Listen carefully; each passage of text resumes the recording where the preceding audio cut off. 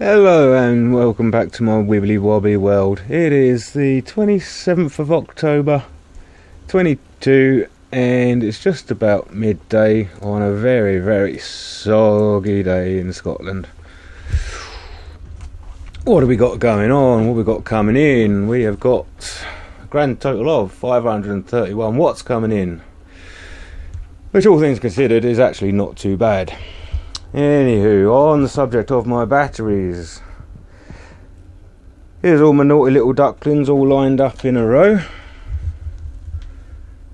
I'll try and give you an idea of how bloated they are. The light behind the fixture.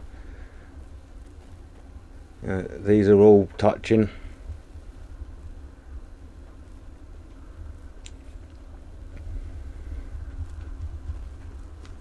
Do, do, do. That is just a little bit of silicon baking sheet to give a like a a shear lay, layer or a bit of sheath, just in case there's ever any rubbing, because that's uh, that's actually part of the live terminal in, underneath that plastic shrink wrap. So as you can see, they're quite quite badly bloated. And the other problem that it gives me is you get the little bus bars that come with the batteries. It's supposed to, so that's supposed to take 100 amp, 100 amps through that through that tiny little plate. Nah, yeah, right. But the problem it does give me is where they're so bloated is that that no longer fits on any of them. It's quite a bit short. So fingers crossed, I'll give them a little bit of a squeeze up to a point where this bus bar will fit, and I might leave it at that. I don't want to take too many liberties, and I'm going to keep a very, very close eye on the burst cap, the pressure relief, as I'm winding it in. So that's it. Two bookend clamps, the threaded rod and up the end on Twiddly Wiggly in I have put some timing marks and I've scribed a line on that nut so that I can count the amount of turns that I do, do it all equally or spread it about like, like a pizza cut, uh, turn at a time. And then what I'll also do is I shall measure in between there both sides top, middle, and bottom to keep the two end clamps nice and parallel so I don't go wonky. So that's the plan for now, hopefully. Fingers crossed. If it takes a lot of force to compress the batteries at all, then I shall probably chicken out, not take any liberties, and I'll have to make up some cables uh, you know, I have to make up some jumper cables to go from the terminals instead of using these. Uh, if, that's only if they don't squash too badly. So, fingers crossed. Here we go. We are looking promising so far. I've managed to go a little way. Uh, probably about an inch and a half, something like that. And up until this point, it's only been finger tight, so there's not a lot of strain on them yet already. There's no none of the burst caps. None of the burst caps have, have popped at all. I can still wiggle them. So plenty to go yet. Mildly optimistic.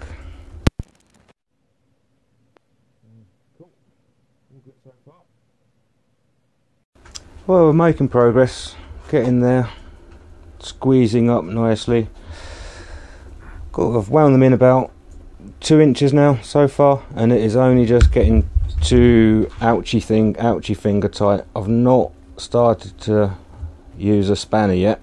It's still finger tight, but ouchy finger tight. Um, nothing's popped yet on the burst caps. I can still wiggle them so they're not squeezed to death and I'm just starting to be able to get the bus bar on them. Not too much further to go.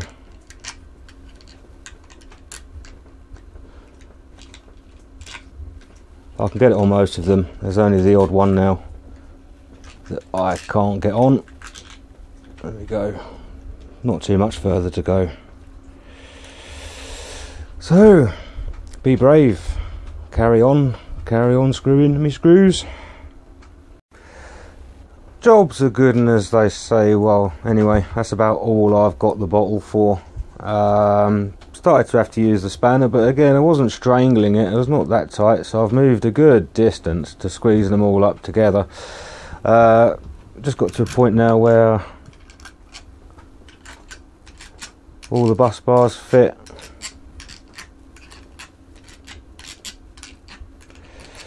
Do do do.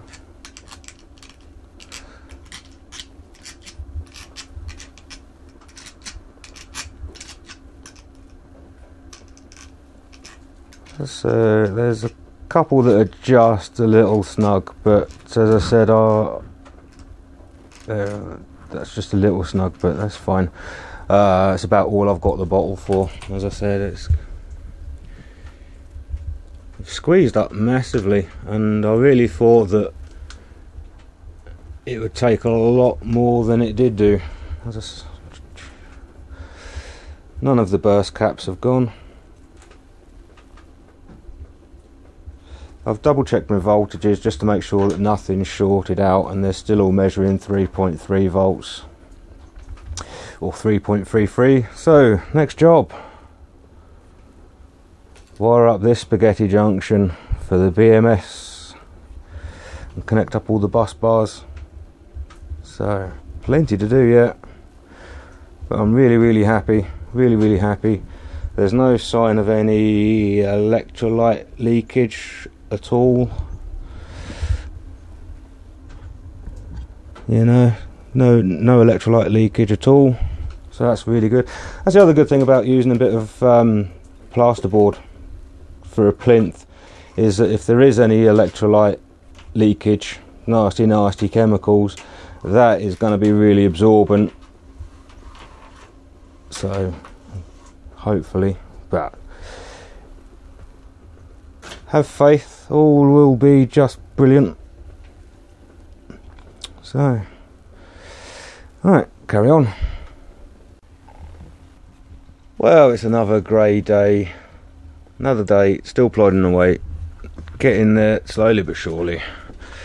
All we've got coming in midday October 20 something, uh, 112 watts, superb. Right, progress with the battery so far. I've been mucking about with that. I was driving myself doolally, getting in a tangle with me uh, balance leads, and the battery negative lead of the Daly BMS.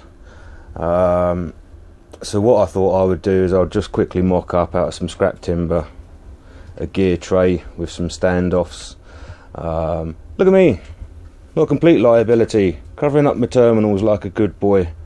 eh?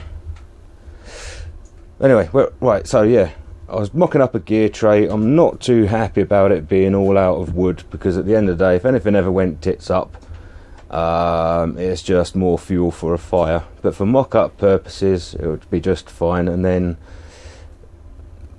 you know, further down the line, it could end up being made out of metal. So that's it so far. Uh, wound in a good distance, put some lock nuts on it. Give you an example of where I chickened out um, on the amount that I was going to squash them. I cut that sheath. I measured the cell, 36 mil thick.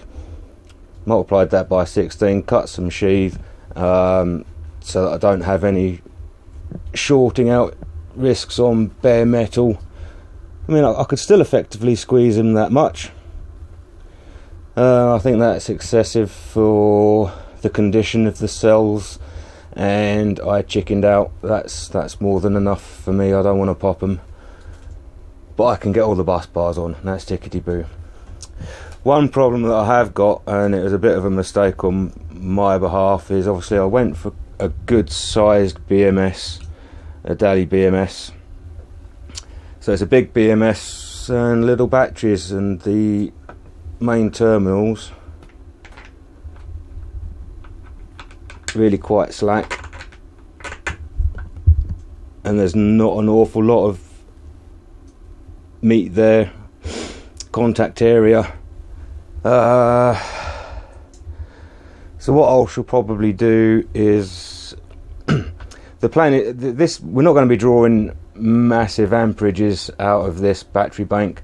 Um, so what I shall probably do is I shall probably get a ring lug terminal that fits the M6 terminal post and use that as a shim just so that it gets more contact area on the underneath of that. So it's a bit better than that. I'll try and you know so it's it's for the next size up there'll be for an M8 lug and a bigger battery. But as I said, I'm not drawing massive amperage out of this. It'll just be for the fridges, little little loads. Um, so yeah, my next job will be try and wire up the Daly BMS. I've put an app on my phone. I'll try and see if it will talk to it. Uh, and this is where I start to not enjoy life because I've always been a mechanical engineer. I hate electronics, and this is all just, just especially the good old Jinglish instructions. It's just gibberish. There's plenty of YouTube videos out of, out there. They're good old University of YouTube. So that'll probably be the next. That'll probably be the next video. That's enough of my waffling for now. Uh, yeah, I reckon the next video will be me trying to wire up my BMS balance leads and then try and see if it will talk to the app and if I can actually figure it out. So please like, comment and subscribe if you want to see me vaporized. Look after yourselves. That's all for now. Bye bye.